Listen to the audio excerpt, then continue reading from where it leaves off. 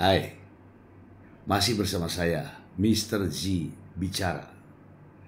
Tentu saja bicara tentang kebenaran berdasarkan fakta, data, dan realita. Masih dari seputar pekerja migran Indonesia. Kali ini dari TKW Hong Kong.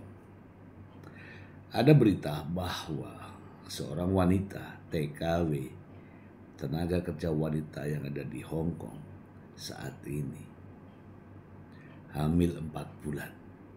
Sementara suaminya suaminya ada di Indonesia.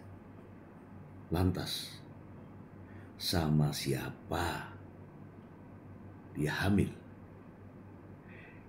Saya akan membacakan berita ini kepada Anda agar semuanya jelas dan tidak menjadi fitnah. Langsung ke sumbernya. Hope ID Penuh misteri, TKW Hong Kong ini nangis saat tiba-tiba tahu hamil 4 bulan. Padahal suami ada di Indonesia. Aku bingung. Kok bisa ya? Bisa? Seorang TKW Hong Kong yang tak disebutkan namanya curhat kepada Miss Yuni. Ia menyampaikan kisah tragisnya saat dua bulan lagi selesai masa kerja dan ingin pulang ke Indonesia.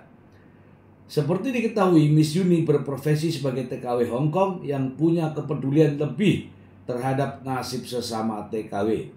Ia sering kali menampung keluh kesah sesama TKW dan berupaya mencarikan solusi terbaik untuk menyelesaikan masalah yang dialami para TKW. Kali ini Miss Yuni mendapat curhatan dari seorang wanita yang bekerja sebagai TKW Hong Kong. Namun belum apa-apa wanita lang wanita itu langsung bercerita dengan lirih. Saya mau minta saran, dua bulan lagi saya finish. Terus saya bingung miss, saya hamil, kata TKW dalam curhatannya melalui sambungan telepon. TKW Hong Kong itu mengaku selama empat bulan belakangan dirinya memang tak pernah tes kehamilan. Dalam masa tersebut pula, ia memang kerap kali mengalami gejala seperti orang hamil. Salah satunya adalah mengalami pusing kepala. Namun, ia menganggap hanya mengalami sakit kepala biasa lantaran kelelahan kerja.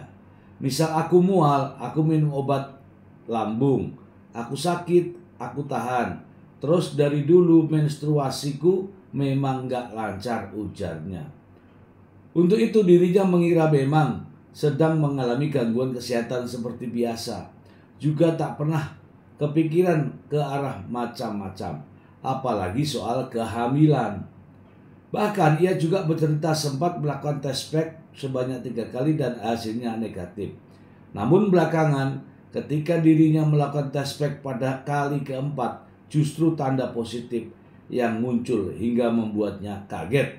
Akhirnya aku beranikan diri ke dokter, aku tes. Siang malam cuma nangis, aku bingung katanya.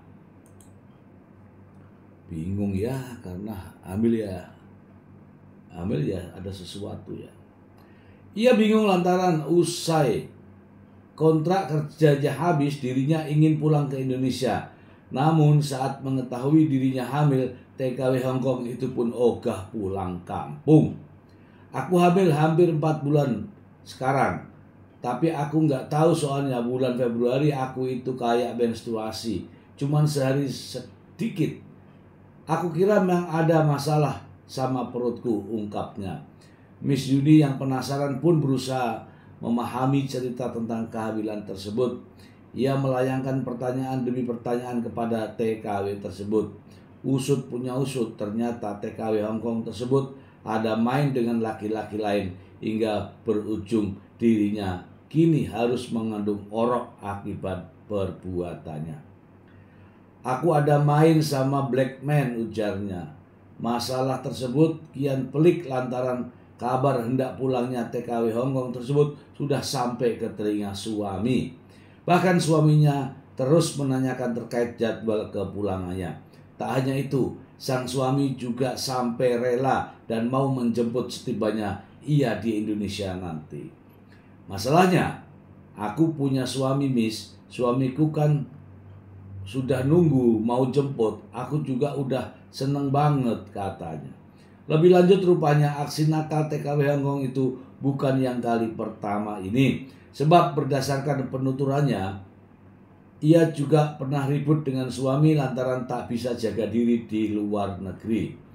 Suamiku juga udah tahu kesalahan aku yang kemarin udah dimaafin. Terus dia mau nunggu aku pulang.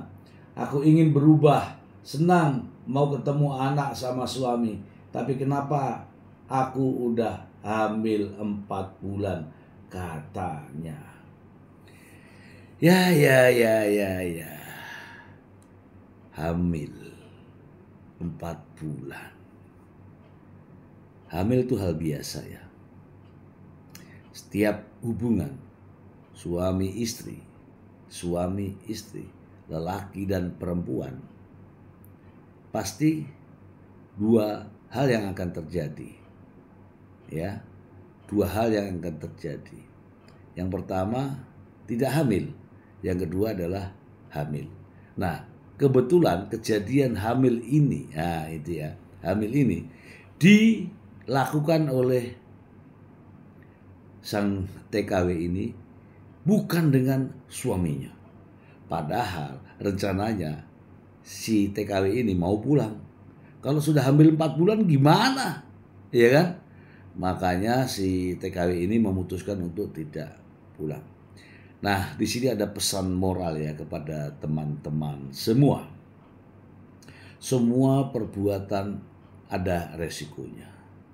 Jadi ketika kita hanya mementingkan nafsu saja, sehingga kita tidak siap menghadapi resiko. Dan inilah yang terjadi. Ketika seorang TKW ini berhubungan dengan Mr. Blackman, orang hitam, kemudian hamil, itu resiko. Dan resiko harus dihadapi, tidak untuk dihindari. Kepada teman-teman, para PMI, di mana saja. Ingat, semua yang Anda lakukan ada resikonya. Sudah siapkah Anda menghadapi resiko itu? Itu tergantung bagaimana Anda memikirkannya. Semoga bermanfaat. Terima kasih. Bye.